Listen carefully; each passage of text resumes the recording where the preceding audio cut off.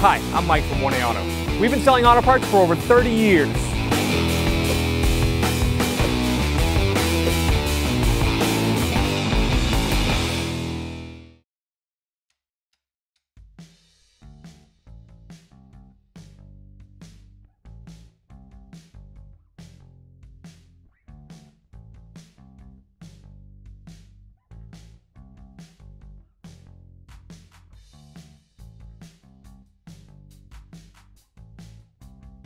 Inside the vehicle, open up the hood.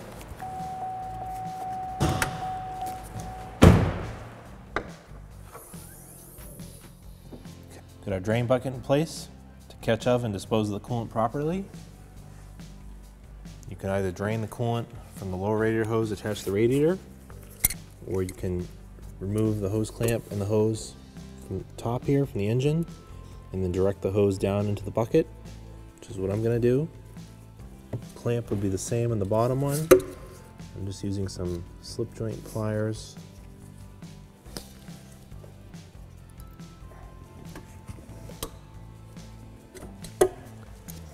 So if you squeeze it just the right way, it's got a little lock, it'll lock together. I can slide it down. Reach down and work on getting that hose off.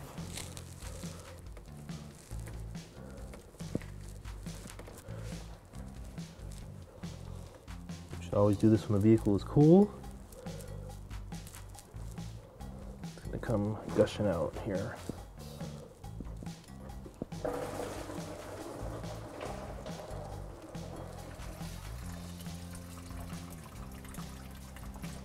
To remove this plastic shield that's in the front of the engine compartment, there are 10 clips. One, two, three, 10.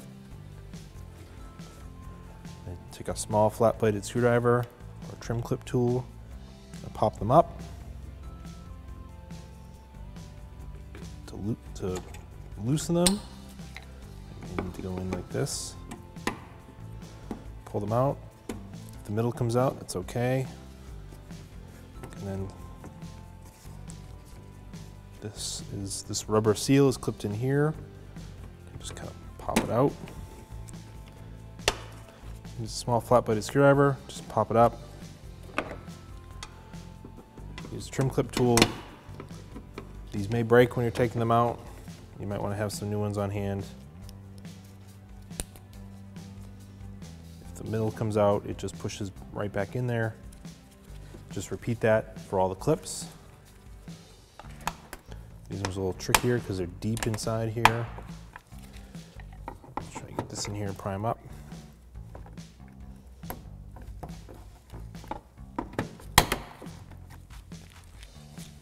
Go along and do the same for all of them.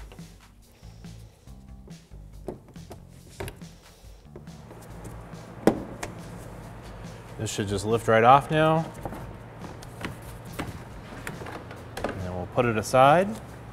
There's six T20 Torx bolts, or Torx screws, on top of the radiator support that hold the bumper on. I'm gonna remove those. Top of the bumper is loose. We're gonna lift the vehicle up to about waist high.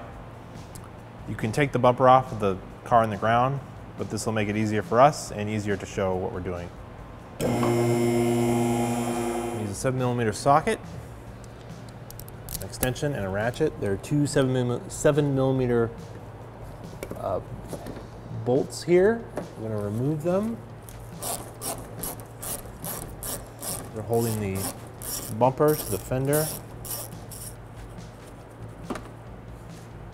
Just kind of tilt the wheel in. You may need to do that. You're gonna repeat this for both sides of the car. Two T20 Torx screws that are holding the fender liner to the bumper.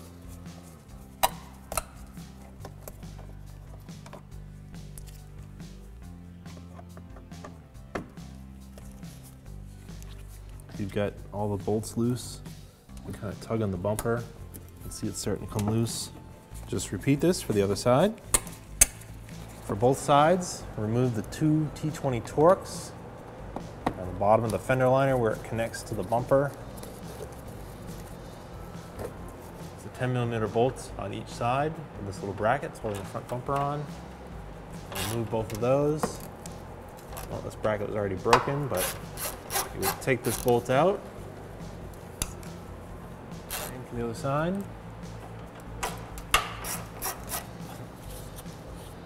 Bumper clips into brackets, so I'm just going to pull on it, pull it out of the clips. Sometimes you have to give it a, a good tug. Just go all the way right along the edge. I'll go do the other side now, the same way. I'm going to support the bumper. Just Like that. Pull it away from the vehicle. Are fog lights or front marker lights. I'm going to unplug those.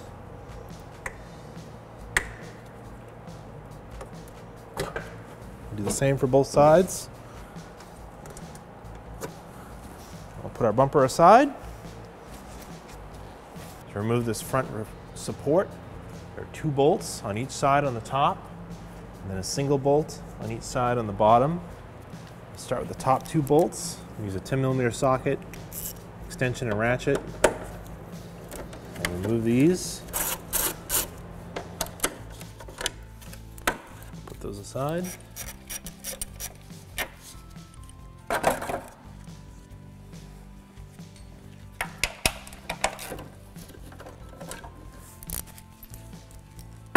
This will lift right off. There's a rubber air guide on each side of the radiator. We need to unclip it. It's got three of these metal style push clips.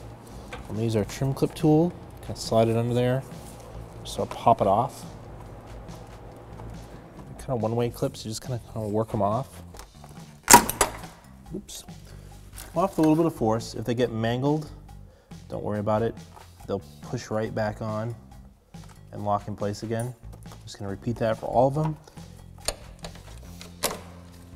That one there. The same for the one that's kind of in the middle here. It's hard to get to.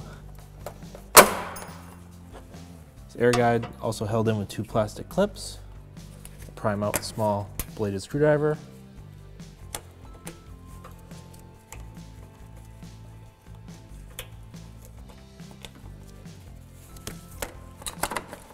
Do the same, the one on the bottom. Now It's also hooked into this bottom one here with this tree clip. Slide this all the way out. Just because it clips around the radiator, it's going to be in the way when I'm trying to take the radiator out. Put that aside so we can reuse it. Going to repeat these steps for the opposite side. This air guide cannot be removed because it goes around the AC lines. You don't want to disconnect those because you'll release all of your Freon and you won't have any working AC. So just push it out and aside. And those will just, this air guide will just stay there while we replace the radiator. Move the hood latch out of the way. These are 13 millimeter bolts. Just using a ratcheting wrench, or you can use a socket and a ratchet. Remove both bolts that are holding it on because the radiator will need the extra clearance to take it out. I'll unclip the electrical connector. Just take some needle nose pliers, push it in, pop that out.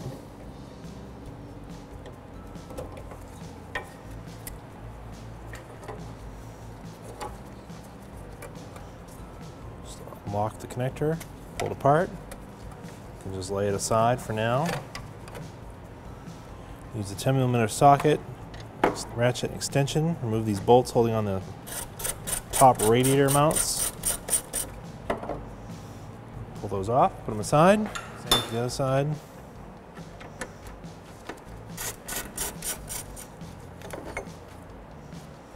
Use some slip joint pliers to remove this clamp.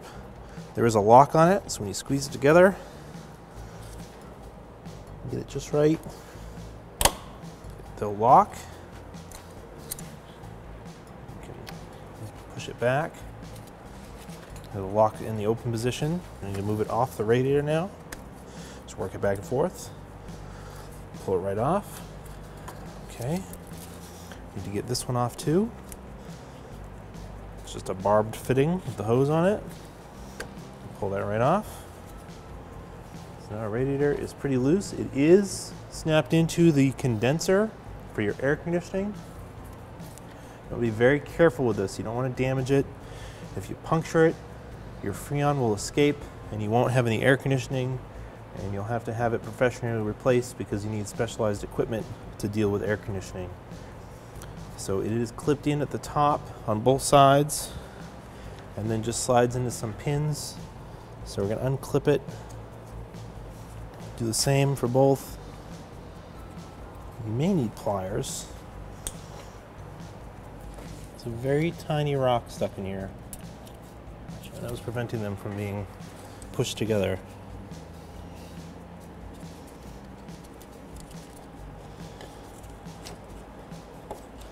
So you're not going to have too much forward movement on those, but it is sitting in little grooves.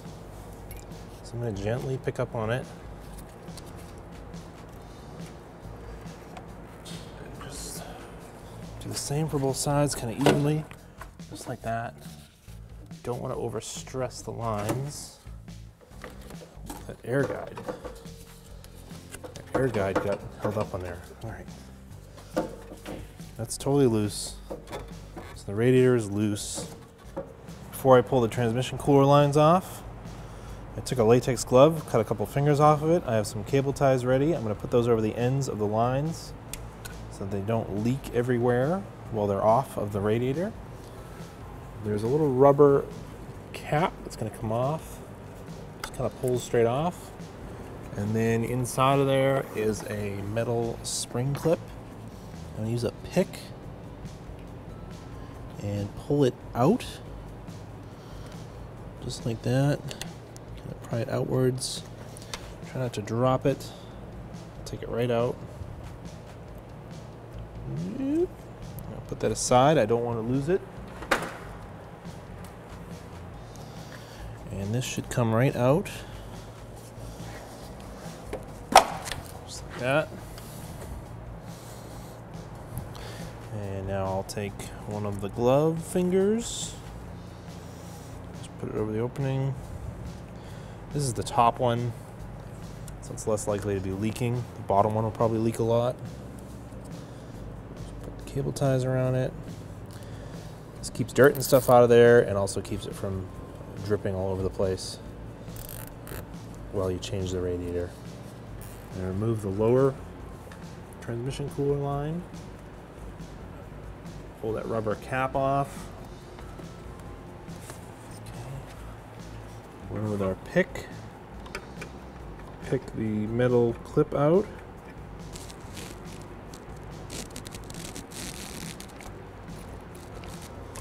Pull it right out.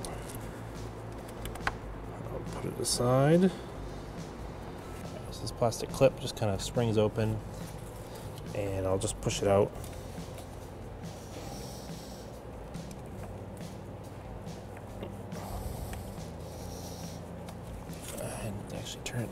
Like that. I can work on getting it out of the radiator. just kind of wiggle it back and forth. Come out. And some fluid might come out of the radiator. And I can actually move this quite a bit, so let me pull it up and I'll put a glove on, glove finger, glove finger onto it. Slip it down. That will sit there. So those are off of the radiator now. Unplug the cooling fans. There's a lock here. Push that in separate the connector. Fold the radiator kind of backwards. The lower hose is still attached, so it's going to come out with it. Pull it up off the mounts. Try not to pull it with the condenser.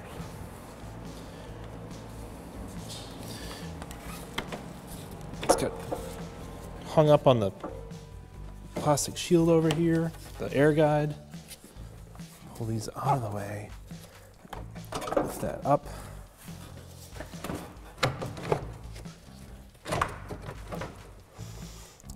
Now, it is caught on the lower radiator hose. So I'm just gonna pull it up, out of the way.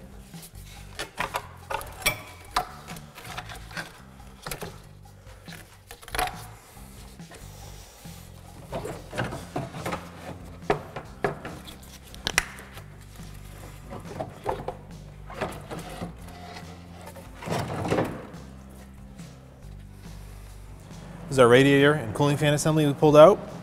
We're going to separate these parts on the bench. The cooling fan shroud actually has two small clips, one on the bottom and one on the top. Use a small flat bladed screwdriver, they're just a push in clip. Gently pry it up. It's okay if the center part comes out. Pop the middle part out. Push it back together. We'll reuse those. Do the same for the other side.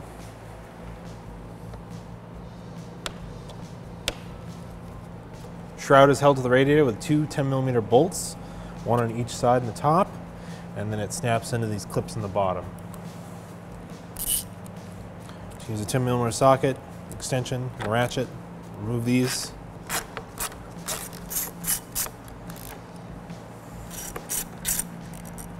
Just kind of slide it up and off those tabs. A couple things we want to take off this to use on our new radiator. To remove the lower radiator hose. So we use some slip joint pliers. The clamp will lock just like the other ones. It sparked. Pull it up over the hose and pull it right off the radiator. Put that aside, I'm gonna reuse it. Now I took the radiator out of the vehicle. There are these rubber plugs that it sits on in the lower radiator support. This one's stuck to the radiator, the other one's stuck in the car. So just make sure that these are either stuck to your radiator or they're stuck in the car because otherwise you're not gonna be able to mount the bottom of the radiator in the vehicle. So I'm gonna take this one off and I'll go put it back in the car. I'm gonna remove the radiator cap so we can reuse it. Just unscrews. There's also this little air guide. Just unclips from it. I'm gonna reuse this. Okay, I'm gonna reuse this clip. Let's get some barbs on it.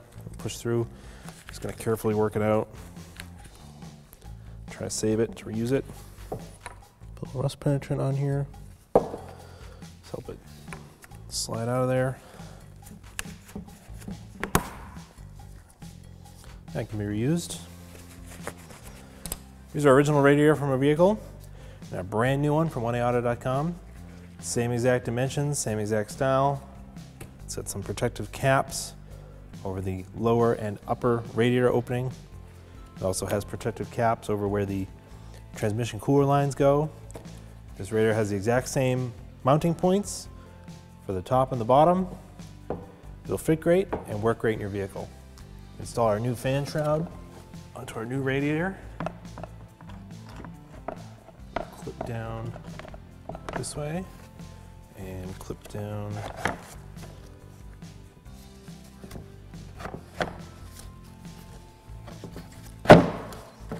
push it in and push it in.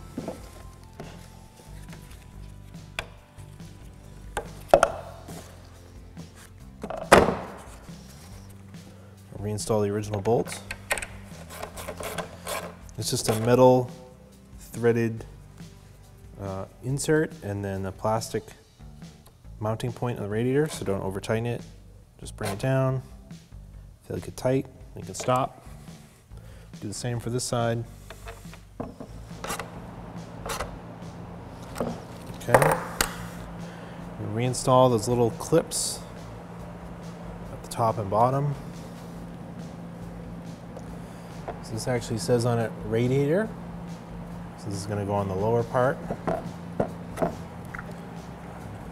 Just gotta wipe it down, put it right over. That was roughly in that area. Pull the clamp down.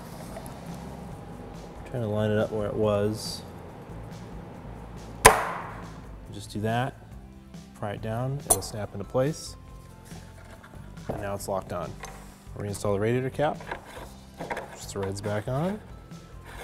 I'm gonna leave these blue caps on for now. That way nothing gets inside there when we're trying to install it. I'm gonna clip this air guide back on. Just clips right over the edge of the radiator.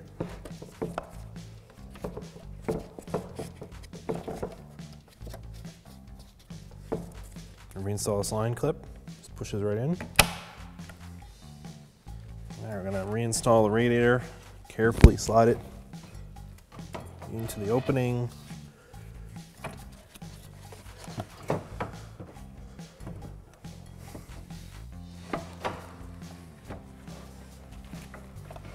I'm just keeping an eye out for all the lines that are in here and the condenser. I'm gonna feed the lower radiator hose inside here so it's out of the way. Down. I'm trying to line up the radiator in the lower mounts.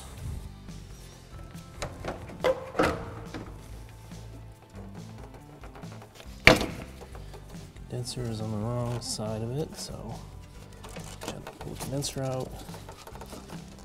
Pull the radiator up at the same time. Slide it into place. Slide the condenser into the lower hooks. And I've got it sitting over on this side. And then it's going to sit down in and it can clip to the radiator. Just push it in both sides. Just like that. Reconnect the transmission cooler lines. Uh, this is the lower one.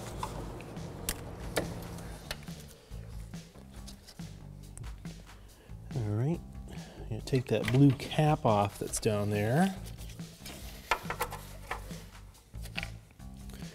And these have a round lip on them, and that should snap right into that metal clip. It'll clip when it's in place. Then this one fits into this plastic clip just like that. And take the rubber cap that was covering it slide that back down. Put that in place.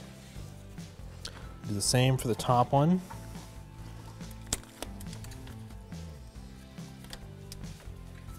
Take the blue cap off. I want to bring this up, the plastic cover.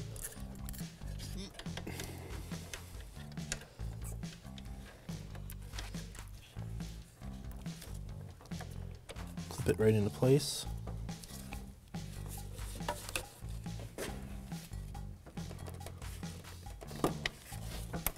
Just like that. Cap back on it. Snap that into the clip. Plug the electrical connector in.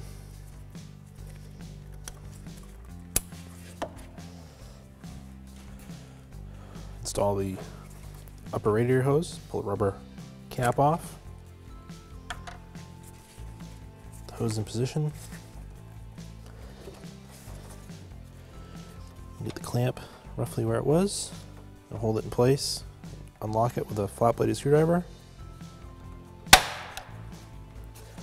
Now it's locked on. Cool overflow and get reattached in this barbed fitting right there. Reinstall the upper radiator mounts. Them lined up where I can see where the, the bolt outline was before. And they're just going into little metal inserts into plastic, so if they get tight, I'll stop. Do the same for the other side. Install the air guide on the driver's side. I'm gonna slide it up from the bottom. And kind of guide it in here.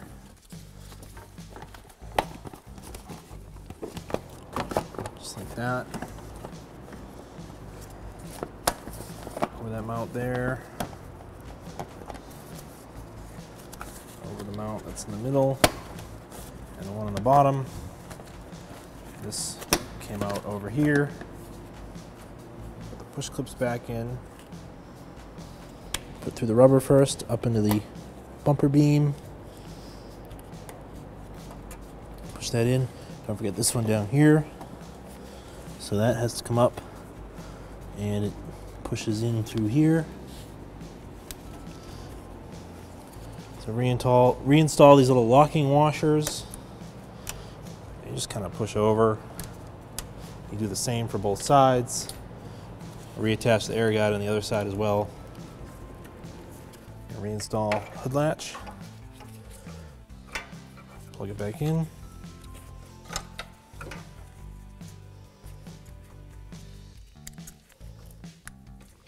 Click when it's in place. Push the harness back in where it was. Put the hood latch back on. You can see the dust outline, dirt outline where it was. Line it up roughly where it was. And then you can also see the outline of where the bolts were. Need be, you can adjust it up, down, left, and right afterwards. Tighten this down.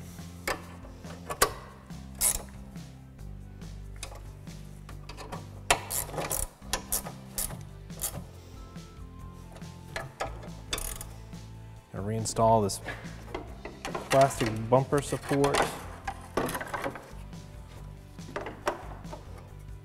underneath the hood latch. Set it in place.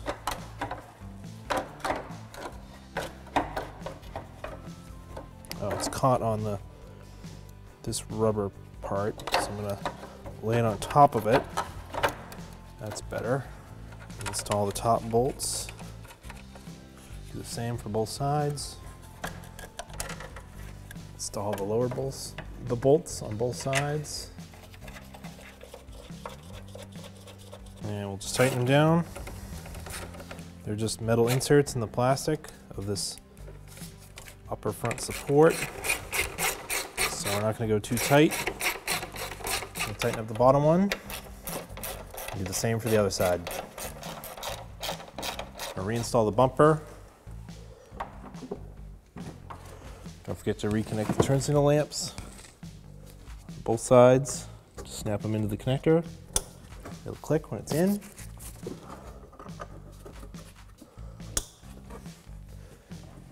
Bumper back into place.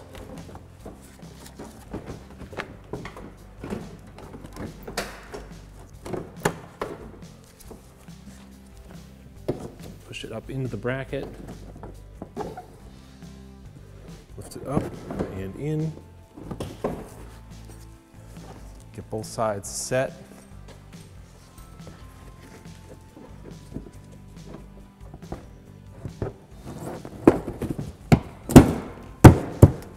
It into place.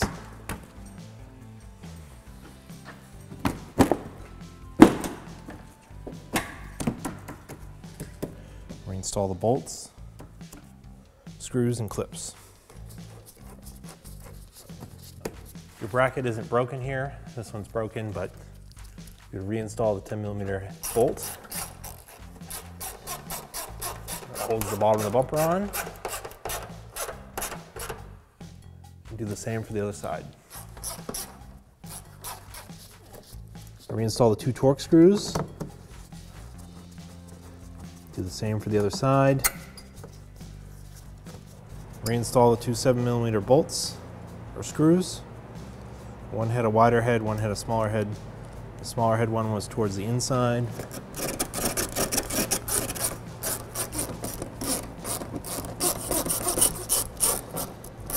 Reinstall the six Torx screws on the top of the bumper.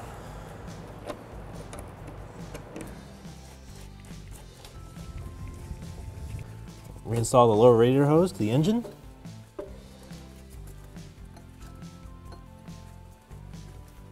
Put that right in place.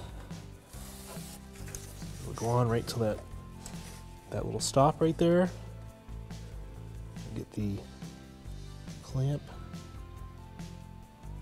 roughly where it was. Take a flat bladed screwdriver, pry it down. There it is, snapped into place, and it's sealed up. Remove the radiator cap, just unscrews. We were we're gonna fill this system at the radiator so that we're not, you could fill it through the overflow bottle. It would just take a long time to fill. So I'm gonna fill up the radiator and then I'm gonna top off the overflow. You could use a regular funnel. We've got a special funnel we're gonna use, but it doesn't really matter because it will pressurize and bleed through the overflow and we'll do that after we fill it.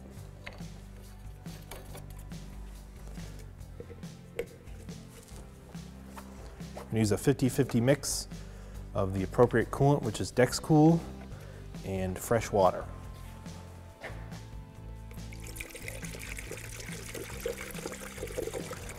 The line is on the back of the reservoir. I've filled the radiator. I'm gonna remove the funnel. I might lose a little bit of coolant. It's almost topped off at the cold level. I'm just gonna let a little coolant in. There it is. Put this back into our bottle. And remove this and replace our radiator cap. Our radiator is filled to the top, which is where, right where I want it. Now I need to run the vehicle, check for leaks, and then bleed the system. I'm gonna start the vehicle in a safe place to have it running, so outside. Gonna bring the RPMs up to between 20, 2000 and 2500 RPM until it comes up to operating temperature. Then we'll let it idle for three minutes, shut it off, let the vehicle cool, and then we'll recheck the coolant level and top off as necessary. After that, the job will be complete. Install the upper cover, in the engine compartment. Gonna slide it under that ground point. It's gonna go over these rubber mounts here, both sides. Go under this weather strip. Same thing for both sides. Reinstall all the push clips. It's easier to push the clips in if you pull out the center part. This is the last one.